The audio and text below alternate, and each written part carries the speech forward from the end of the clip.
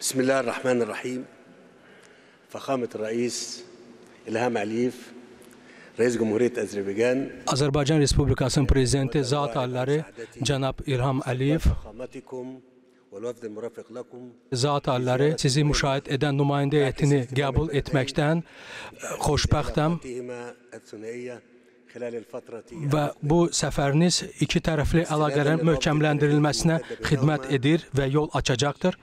كما يسعدني في هذا السياق أن أتقدم لفخامتكم Eyni zamanda zat alilərinizin Azərbaycan Respublikasının prezidenti vəzifəsinə yenidən seçilməyiniz münasibətilə sizi ürəkdən təbrik edirəm. لاستضافة وتنظيم الدورة التاسعة والعشرين لمؤتمر الأطراف və BMT-nin iqlim dəyişikliyi üzrə çərçivə konvensiyasının ə, tərəflər konfransının 29-cu sessiyasına ev sahibliyi etməyiniz münasibətilə ürəkdən təbrik edirəm. Bu gün Azərbaycan Respublikasının prezidenti ilə keçirdiyim danışıqlar iki tərəfli əlaqələrin müxtəlif sahələrdə möhkəmləndirilməsinə xidmət edir. Eyni zamanda regional və beynəlxalq qarşılığı maraq kəsb edən regional və beynəlxalq münaqişələr ətrafında, məsələlər ətrafında müzakirə apardıq.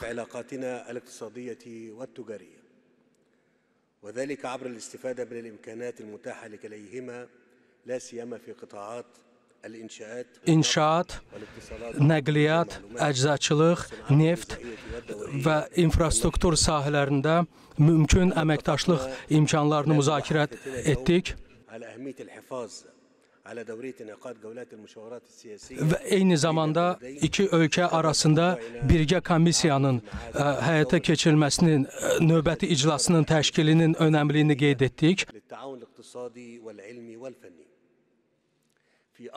Tezliklə e, ə, komissiyanın növbəti iclasının keçirilməsini qeyd etdik.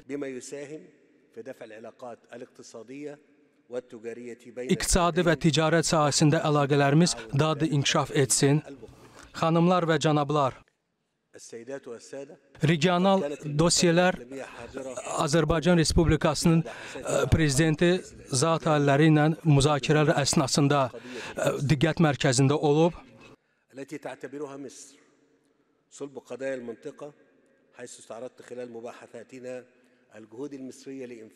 Cənab Prezidentlə e, müzakirələr zamanı eyni zamanda e, Qəzzada Fələstin insanları üçün humanitar yardımlar həcminin artırılması istiqamətində Misirin e, səylərini müzakirə etdik və eyni zamanda 4 iyun 1967-ci ildən öncəki sərhədlər çərçivəsində müstəqil Fələstin dövlətinin yaradılmasının zəruriliyini qeyd etdik. بدلا من الحروب والدمار والخراب وفي ذات السياق أكدت لفخامة الرئيس خلال المباحثات مساندة مصر لكافة المبادرات الرامية إلى تحقيق السلام والاستقرار في منطقة جنوب القوقاز Cənab prezidentə ə, bir daha bildirdim ki, Cənubi Qafqazda ə, sülh və təhlükəsizlik təmin edilməsi istiqamətində səylərin vacibliyini bildirdim və bu səyləri dəstəklədiyimizi bildirdim. وأرمينيا بما يسمح بتدشين مرحلة جديدة من التنمية ويحقق مصالح شعوب المنطقة الحضور الكريم Bu səylər region ölkələri və xalqlarının inkişafı üçün ə, böyük tövhəl olacaqdır. الفترة المقبلة طفرة في مسار تعزيز وتطوير التعاون المشترك بين بلدينا في كافة المجالات Cənab prezidentə bildirdim ki, növbəti mərhələnin iki tərəfli əlaqələrin bütün sahələrində inkişafının şahidi olacaqdır.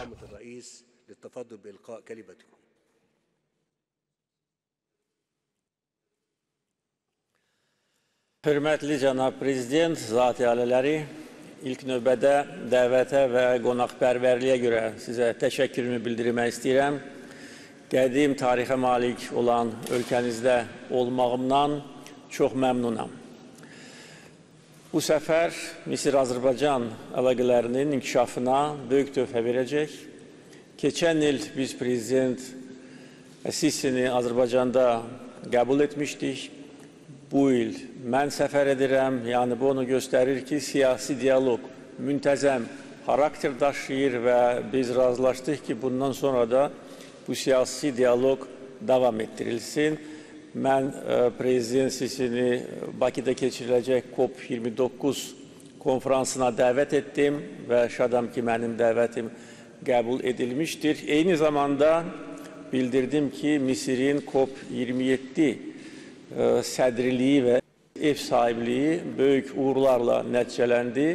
Bu münasibətlə həmkarımı təbrik etdim və eyni zamanda Misirin bu sahədəki təcrübəni öyrənmək üçün e, müraciət etdim və e, bizim nümayəndələrimiz daim təmasdadılar. E, Beynəlxalq məsələlərin müzakirəsi zamanı aydın oldu ki, fikir ayrılığımız yoxdur. Bütün beynəlxalq məsələlərdə bizim fikrimiz üst-üstə düşür. Biz əslində beynəlxalq təşkilatlar çərçivəsində fəal çalışırıq. O cümlədən BMT, Qoşulmama Hərəkatı, İslam Əməkdaşlıq Təşkilatı çərçivəsində fəal ə, əməkdaşlıq edirik. İslam həmrəyliyinin gücləndirilməsi istiqamətində birgə səylər göstəririk. Bildiyiniz kimi 4 il ərzində Azərbaycan qoşulmama hərəkatına sədrlik etmişdir Misirin dəstəyi ilə və bu sədrliyin nəticəsi olan bu hərəkat daha böyük imkanlara malik olmuşdur. Fələstin-İsrail münasibətlərinin tənzimlənməsi və müstəqil Fələstin dövlətinin yaradılması biz qoşulmama hərəkatına sədrlik etdiyimiz zaman hər zaman diqqət mərkəzində idi. Bir çox tədbirlər e, keçirilmişdir və Azərbaycanın mövqeyi bir mənalıdır. Müstəqil Fələstin dövləti qurulmalıdır. Şərqi güc onun paytaxtı olmalıdır. E, bugün Qəzzada yaşanan faciə tezliklə dayandırılmalıdır. Müharibə dayandırılmalıdır və bütün məsələlər danışıqlar yolu ilə həll olunmalıdır və mən prezident Əs-Sisiyə bildirdim ki, Misirin bu istiqamətlərdəki səylərini biz dəstəkləyirik və Misir tərəfindən irəli sürülmüş təşəbbüslər diqqətə alınmalıdır. Eyni zamanda Cənubi Qafqazdakı prosesləri də biz müzakirə etdik. Mən bildirdim ki, hal-hazırda Azərbaycan və Ermənistan öz dövlət sərhədlərini müəyyən etmək işində müəyyən uğurlara nail olublar. 12-17 kilometr dövlət sərhədi demək olar ki, razılaşdırıldı. Azərbaycanın 30 ildən çox müddət ərzində işğal altında olmuş Qazax rayonunun dörd kəndi danışıqlar yolu ilə Azərbaycana geri qaytarılmışdır və biz bunu müsbət hal kimi qiymətləndiririk. Eyni zamanda danışıqlar prosesində də hesab edirəm ki, e, irəliləyiş üçün yaxşı imkanlar var. Hər halda Azərbaycan buna hazırdır. Onu da bildirdim ki, Azərbaycan keçən ilin sentyabr ayında öz dövlət suverenliyini və ərazi bütövlüyünü tam bərpa etmişdir və e, bu əlbəttə ki, Ermənistanla normallaşdırma yolumuzda önəmli faktor olacaqdır. O da həmkarımın diqqətinə çatdırıldı ki, e, iki ilə yaxındır ki, Azərbaycan-Ermənistan şərti sərhədində sakitçilikdir. Heç bir ə, e, atəşkəs pozuntusu müşahidə edilmir. İki tərəfli münasibətlərə gəldikdə ticarət həcminin artırılması təbii ki, müsbət haldır.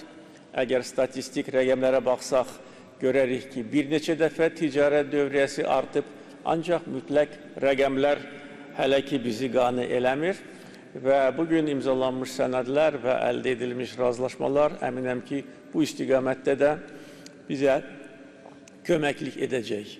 İlk növbədə energetika, bərpa olunan enerji növlərinin istehsalı sahəsində, neft sənayesi sahəsində, əczaçılıq, alüminium sənayesi və digər sahələrdə əminəm ki, yaxşı nəticələr əldə etmək mümkün olacaq.